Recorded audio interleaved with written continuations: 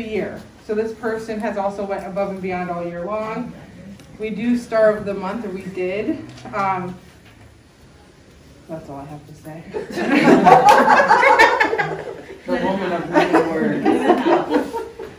So the, the staff member of the year is quite an honor um, because there's, there's a lot of staff members to, to choose from.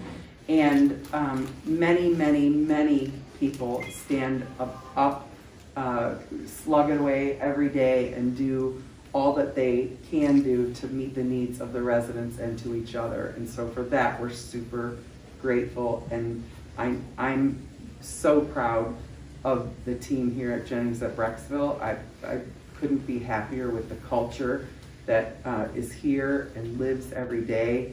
Um, you can feel it when you walk in the door. Um, you can see it amongst the staff members and uh, you can see it in the smiles of the faces of the residents. So thank you all for that. So this one special person is being recognized as um, the star of the year. And will Mary Ann Patterson please?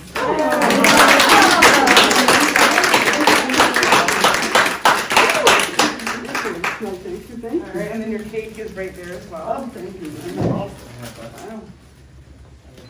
Here. So I will tell you specifically why Mary Ann was chosen. Mary Ann more than exemplifies the values of Jennings in person-centered care. She goes above and beyond to make sure our residents receive the best care. Her patience, positive attitude, and willingness to help wherever needed make her a role model for others. While overcoming obstacles and fight- fighting battles in her own life, she still comes to work with a smile on her face, kindness in her heart, and puts resident care and comfort above all else. Mary Ann demonstrates clinical competence with clear and concise communication. Extremely adaptable to change, she creates solutions to all challenges, always looking to make someone's life better.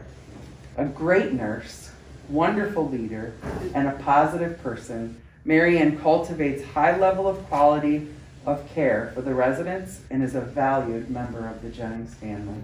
Thank you. Congratulations.